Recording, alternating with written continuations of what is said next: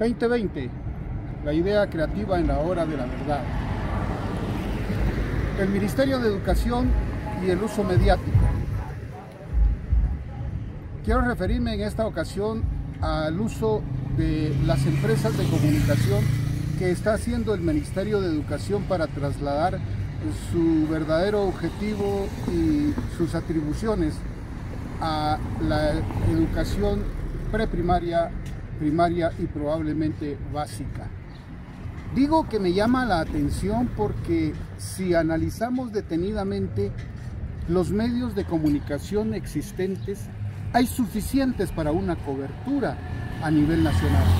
Por ejemplo, el canal de gobierno, la Agencia Guatemalteca de Noticias, TGW, la Radio Nacional con sus repetidoras en el país, Radio Foro, la misma emisora Radio Universidad, los canales de televisión de los organismos institucionales del Estado, canal de televisión del organismo legislativo, el organismo judicial y otras emisoras institucionales que no significarían un costo para mover la educación en este momento del COVID-19 no me aparto de las facturas de una empresa privada de comunicación.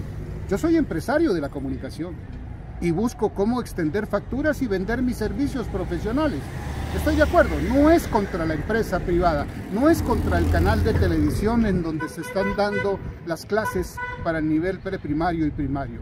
Es el gasto de ese recurso cuando hay suficientes canales institucionales para poder utilizar o hacer o emprender o ejecutar esa estrategia educativa. Quisiera saber de cuánto es esa factura que le está trasladando esa empresa privada, ese canal de televisión al Ministerio de Educación. ¿Por qué no lo sabemos? Le pido a la señora ministra de Educación que haga público el costo, el significado, el valor de esa factura a cambio de tener clases por canal de televisión durante las mañanas. Si se demuestra, y tendría que ser así, estamos hablando del tema de la transparencia dentro de la administración pública. No hay nada que esconder. Repito, para eso son las empresas de comunicación, son lucrativas y eso lo tenemos que entender. Si hay privilegio, hay preferencia, no sé. Pero a lo que voy es por qué no usamos los medios de comunicación institucionales, los medios de comunicación de gobierno, que tenemos una cobertura nacional y están obligados a emprender campañas estratégicas como esta en momentos de crisis.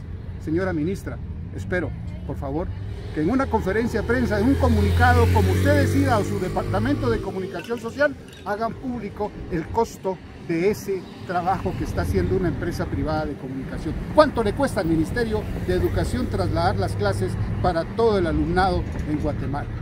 Atentamente, periodista Rolando Antonio Castillo López.